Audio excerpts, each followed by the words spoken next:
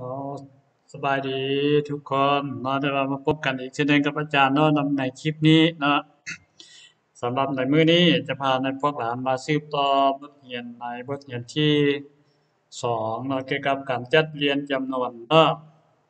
สำหรับในการจัดเรียนจำนวนในมื้อนี้เนาะจะพาพวกหลานไปเบิ่งในกิจกรรมไปเลยเนาะเพื่อเป็นการประหยัดเวลาเนาะกิจกรรมที่หนึ่งแม่นให้พวกหลาน เติมจำนวนใส่เส้นโค้งตามลำดับ หมายความว่าเส้นโค้งตัวนี้เนาะโค้งอยู่นี่เนาะแต่อยู่ในปึ้มเนาะอยู่ในนี้อาจารย์จะเอาอันน่ะเส้นแสดงมาวางใส่ละเนาะแบ่งส่วนจำนวนหนึงแล้วเนาะที่จริงอยู่ในปึ้มพวกหลานก็จะบ่มีในการเส้นแสดงบ่มีในการแบ่งส่วนเนาะอาจารย์จะแบ่งเพื่อให้พวกหลานเข้าใจในการแก้เนาะ อ้าวหมายถึงว่าให้พวกหลานมาเบิ่งเนาะในบล็อกอยู่ในนี้ข้อมูลอยู่ในนี้ในบัตรถึงนี่เนาะให้พวกหลานเอามาวางใส่ว่า แต่ละจำนวนนั้นมันถูกอยู่บนใดเนาะของเส้นแสดงเนาะ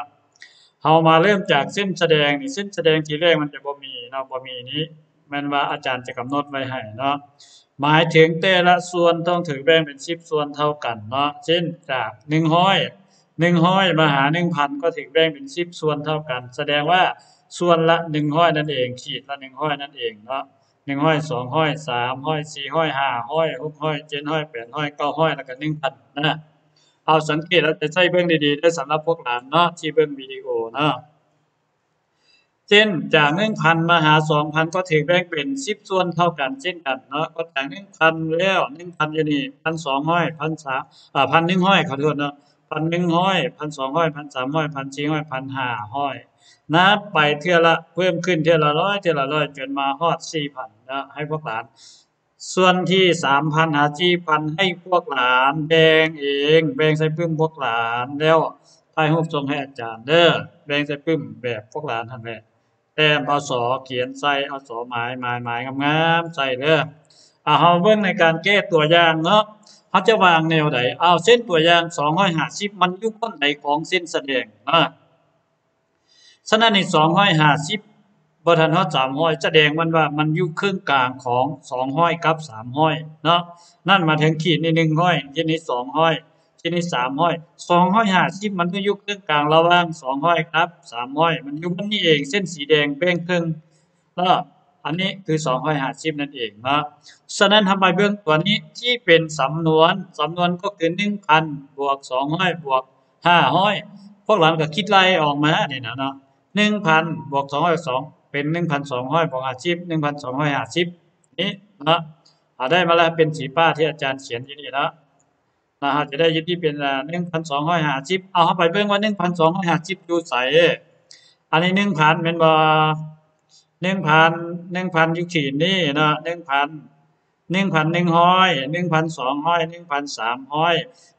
1,250บ่ฮอด300แสดงว่ามันอยู่ครึ่งกลางของ1,250นั่นเองนะฉะนั้น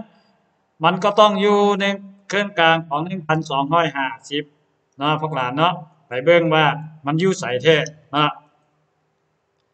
อ่าเอาไปเบิ่ง1,250มันอยู่ครึ่งกลางระหว่าง 1,200และ1,300คือยู่จุดนี้เองเนาะที่เป็นสีส้มที่อาจารย์หมายไว้ฉะนั้น1,250พวกหลานก็เอามาเขียนใส่ทันทีแบบนี้ ไปวางใส่ให้ถึงตำแหน่งของมันเด้ออ้าวสังเกตเบิ่งเนาะแล้วก็เขียนใส่ในปึ้มตัวเองเนาะวันนี้ไปเบิ่ง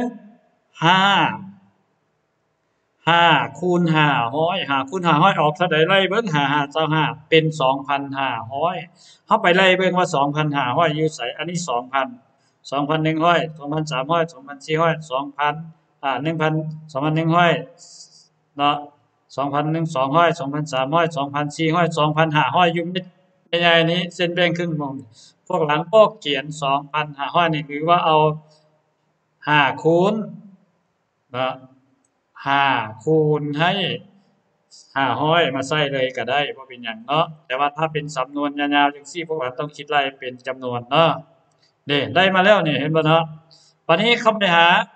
4คูณ10กำลัง3พวกหลานได้เรียนแล้วว่า10กำลัง3ได้มาจากไสเนาะในบทที่1พวกหลานเรียนแล้วย้อนกลับไปเบิ่งว่าเลขกำลังแม่นได้มาจากจำนวนเทื่อของพื้น10คูณกัน นั่นหมายถึง10คูณกัน3เทื่อเท่ากับ1,000นั่นเองหนึ่งพันคูณสี่ก็ได้สี่พันเนาะไปเบิ่งสี่พันยู่ใส่สี่พันยูนี่เนาะเห็นบ่พวกหลานก็เอาสี่คูณสิบกำลังสามมาใส่นี่เด้อเนาะอันนี้เราได้มาแล้วนี่เนาะสี่คูณสิบกำลังสามเนาะหรือพวกหลานจะเขียนเป็นสี่คูณสิบกำลังสามนี่ก็ได้เนาะสี่คูณสิบกำลังสามเอาไปเบิ่งว่าสี่คูณสิบกำลังสามเนาะพวกหลานก็มาเขียนใส่เนาะ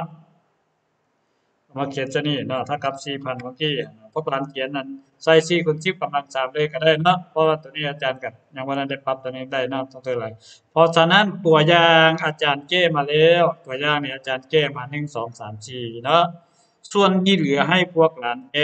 เอาส่วนที่เหลือ5คูณ10กำลัง2หมายถึงว่า10กำลัง2เท่ากับ100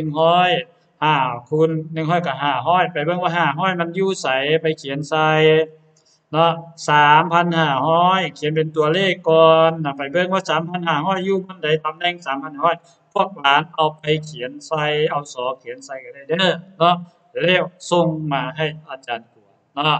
อ้าวอันนี้แม่นอาจารย์เอเป็นตัวอย่างกิจกรรมเนาะกิจกรรมที่หนึ่ง